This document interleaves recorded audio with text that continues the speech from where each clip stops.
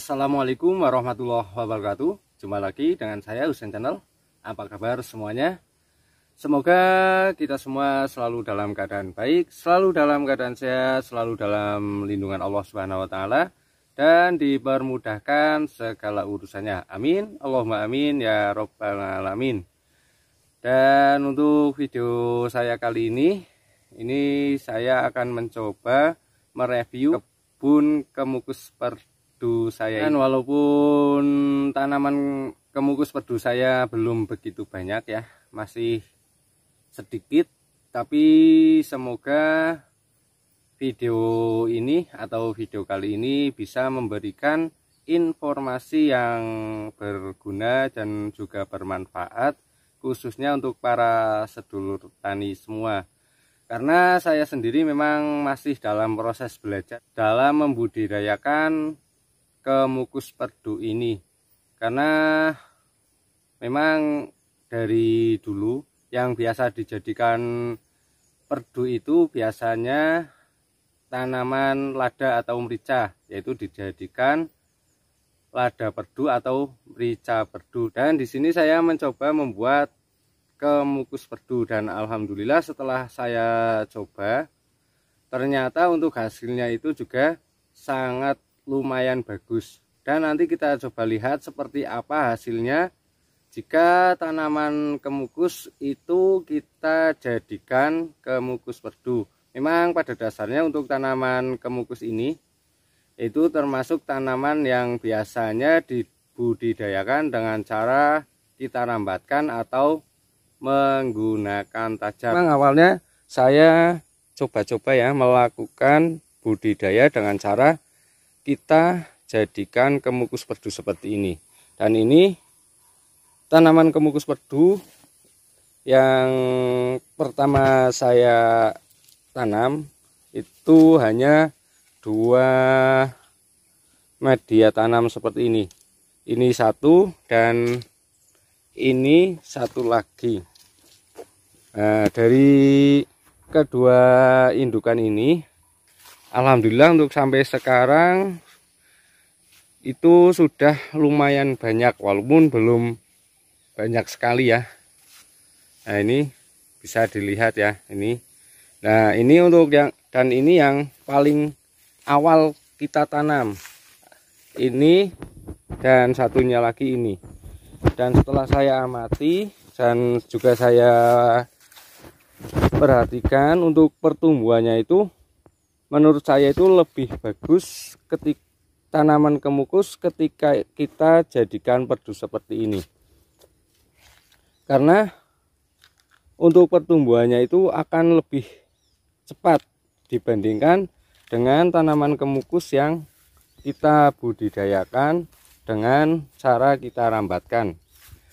Nah, perbedaannya di sini ya. Ini untuk tanaman kemukus yang sudah kita jadikan perdu seperti ini itu untuk pertumbuhannya beda dengan tanaman kemukus yang kita rambatkan. Karena untuk tanaman kemukus yang sudah kita jadikan perdu seperti ini untuk pertumbuhannya itu terus tumbuh tunas-tunas yang baru di setiap ruasnya bahkan sampai ke batang yang paling bawah. Contohnya seperti ini ini. Walaupun ini sudah banyak atau sudah rimbun ya bagian atasnya bagian pucuknya. Tapi untuk bagian bawahnya juga masih terus tumbuh tunas-tunas muda seperti ini. Dan untuk bunganya itu akan terus bermunculan dengan seiring tumbuhnya tunas-tunas yang muda seperti ini di setiap ruasnya. Nah seperti ini ya. Ini nantinya itu akan keluar bunga dari tunas yang baru tumbuh seperti ini. Walaupun ini buahnya masih ada karena untuk buahnya yang tua itu sudah saya panen beberapa hari kemarin ya. Nah, dan ini awal saya mencoba membuat kemukus perdu dari dua indukan ini. Nah, bisa dilihat di sini untuk pertumbuhannya itu itu akan tumbuh terus. Tunas-tunas yang muda seperti ini di setiap ruasnya nah seperti ini. Dan juga tumbuh tunas dari batang bagian bawah. Dan setelah saya coba beberapa bulan ya. Dan saya perhatikan dan untuk pertumbuhannya itu sangat bagus sekali dan ternyata bisa berbuah terus berbunga terus tanpa mengenal musim. Nah di sini juga ada ini ini yang eh, apa namanya bibit dari indukan yang tadi ini hasil cangkoknya. Untuk buahnya itu Alhamdulillah terus bermunculan seperti ini ya. Termasuk bunganya juga buah mudanya juga ada bunganya juga terus tumbuh terus seperti ini keluar terus seperti ini. Nah ini beberapa tanaman kemukus yang awal kita tanam. Kita masih menggunakan planter bag seperti ini. Dan ternyata setelah saya ganti menggunakan ini keranjang anyaman seperti ini ya yang kita buat sendiri dia bahannya dari tali packing atau tali strapping. Dan hasilnya itu le jauh lebih bagus dari media yang menggunakan planter bag seperti ini dan ini tanaman kemukus saya yang tahap kedua ini. Ini juga Alhamdulillah ya. Seperti inilah hasilnya tanaman kemukus yang saya jadikan perdu. Dan memang untuk budidaya tanaman kemukus dengan cara dijadikan perdu seperti ini memang masih sangat jarang sekali dan saya sendiri juga awalnya hanya coba-coba tapi hasilnya Alhamdulillah sangat bagus menurut saya. Karena ini ya di semua tanaman kemukus perdu saya itu untuk tunas mudanya itu akan terus bermunculan di setiap ruasnya seperti ini dan sekaligus membawa bunga. Jadi bisa dikatakan untuk tanaman kemukus yang kita jadikan kemukus perdu itu bisa berbunga dan berbuah terus menerus tanpa mengenal musim. Nah ini di setiap tanaman kemukus perdu saya itu pasti ada buahnya terus seperti ini. Nah ini. Ini tanaman kemukus saya. Tanaman kemukus perdu saya tahap kedua dan untuk pembibitannya juga itu bisa dikatakan sangat mudah sekali. Ketika kita sudah mempunyai tanaman kemukus perdu yang kita budidayakan dengan cara seperti ini. Karena untuk pembibitannya itu cukup dengan melakukan pencangkokan seperti ini. Nah ini seperti ini contohnya ya. Tanpa harus membungkus atau melakukan pencangkokan dengan cara seperti pencangkokan pada tanaman lain. Nah, cukup dengan cara seperti ini dan dengan cara seperti ini juga kita akan mendapatkan bibit tanaman kemukus yang sangat banyak dari satu batang solor panjat yang tumbuh pada tanaman kemukus perdu kita ini. Selain itu juga dengan cara kita jadikan perdu atau kita budidayakan dengan kita jadikan perdu seperti ini kita bisa menanamnya dengan cara kita tumpang sarikan dengan tanaman yang sudah ada di lahan kita. Contohnya seperti saya ini ini kita tanam atau kita budidayakan di antara tanaman salak seperti ini ya. Nah, ada juga ini pohon kopi. Dan untuk pertumbuhannya itu sama sekali tidak terpengaruh tetap bisa tumbuh subur juga.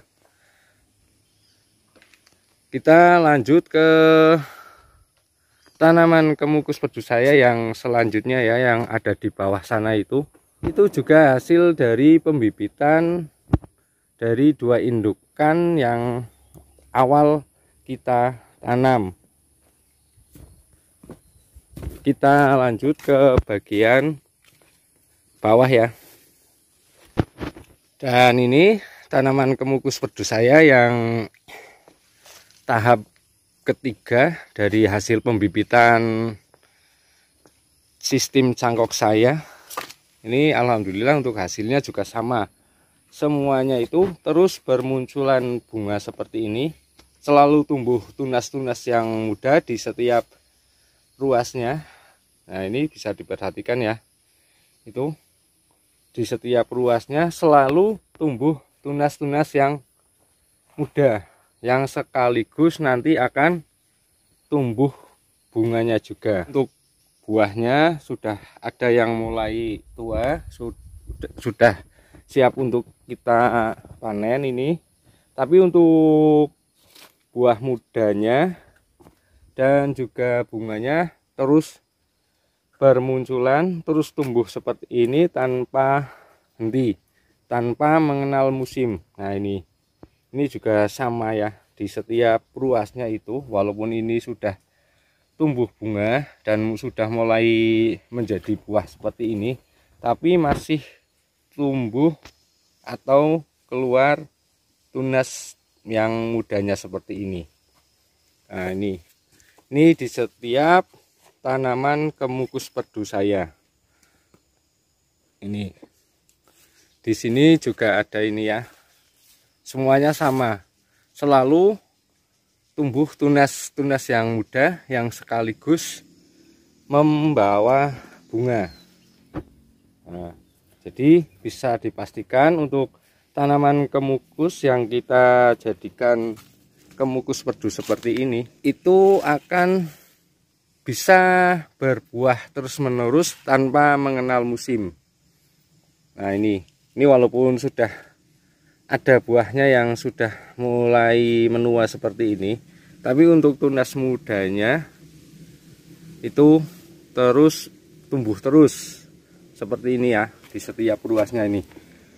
Nah ini. Itu salah satu kelebihan atau keistimewaan tanaman kemukus yang kita jadikan kemukus perdu seperti ini. Ini untuk tanaman kemukus perdu saya yang belum lama kita tanam ini. Nah ini itu akan terus bermunculan bunga-bunga seperti ini. Dan juga terus tumbuh tunas-tunas yang mudanya juga. Nah ini seperti ini. Dan itu pada semua tanaman kemukus perdu saya. Walaupun ini tanamannya juga masih kecil seperti ini tapi untuk buahnya itu sudah mulai banyak seperti ini. Dan masih terus tumbuh tunas-tunas yang muda dan juga bunganya juga seperti ini. Kita lanjut ke tanaman kemukus perdu yang baru kita tanam semua tanaman kemukus perdu saya yang sudah saya jadikan perdu seperti ini itu semuanya sama. Ketika kita tanam tumbuh langsung bisa berbunga dan berbuah. Contohnya ini ini walaupun masih kecil sekali tapi sudah mulai berbuah seperti ini ya. Nah ini juga ada semuanya itu sama. Walaupun baru kita tanam tapi bisa langsung berbuah seperti ini. Nah di sini juga sama. Ini juga ada nah, bahkan sudah hampir tua ini. Ini buah bawaan dari indukan ya ketika kita cangkok dulu. Tapi tetap bisa bertahan sampai tua seperti ini